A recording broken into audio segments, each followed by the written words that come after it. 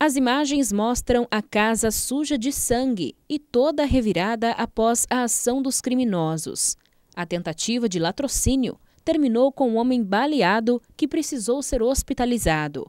O crime aconteceu em Mariluz.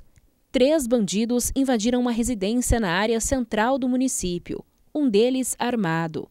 Na casa, atiraram contra a vítima, um homem de 40 anos, e roubaram três celulares. Policial militar de Mariluz foi acionado para comparecer ao pronto atendimento, pois lá havia uma vítima de disparo de arma de fogo.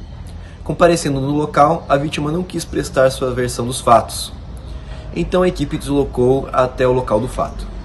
Chegando lá, foi constatado que o roubo levaram os celulares das vítimas da residência, além de ser encontrado dois estojos de munição deflagrado, além de vestígios de munição.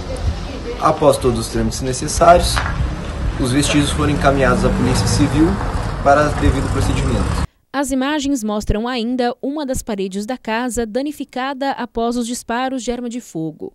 Devido à gravidade dos ferimentos, a vítima precisou ser transferida para um hospital de Umarama, onde permanece internada.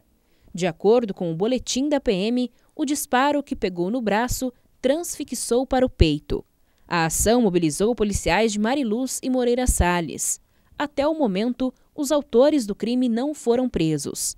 A Polícia Civil de Cruzeiro do Oeste investiga o caso. Qualquer informação que auxilie as autoridades pode ser repassada de forma anônima através do 197 181 190 ou diretamente para a Delegacia de Cruzeiro do Oeste, através do 44 99899 6689.